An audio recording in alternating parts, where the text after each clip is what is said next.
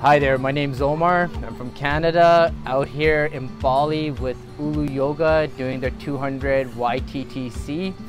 Uh, what can I say? Fantastic group of instructors, well-structured program. It's a good balance of different styles of yoga. Uh, I feel that each instructor came with their own uh, uniqueness, which made it really special.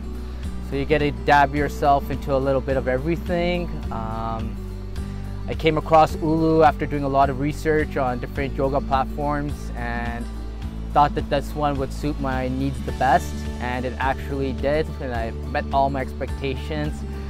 If you're curious or interested in doing yoga at all, I highly recommend this group.